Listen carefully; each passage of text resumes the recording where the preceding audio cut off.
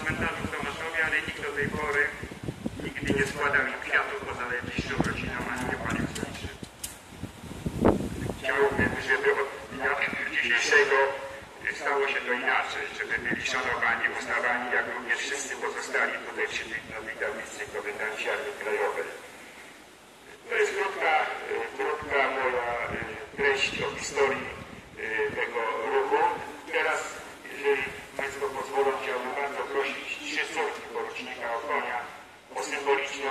macie tablicy zdjęcie szarki.